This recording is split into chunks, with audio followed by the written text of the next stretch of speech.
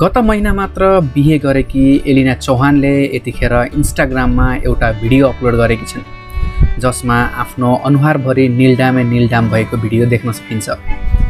धेरै मानिसहरूले अनुमान गरिरहेका छन् कि के यो पति पत्नीको झगडा त होइन तर उनले यसबारेमा आफ्नो इन्स्टाग्राममा रिप्लाई पनि दिएकी छिन् यो एउटा अभिनय मात्र हो भनेर। भिडियोलाई नकारात्मक रूपमा नलिनुहोला भन्दै उनले इन्स्टाग्राममा जवाब समेत दिइसकेकी छन्। भिडियो यस प्रकार रहेको छ।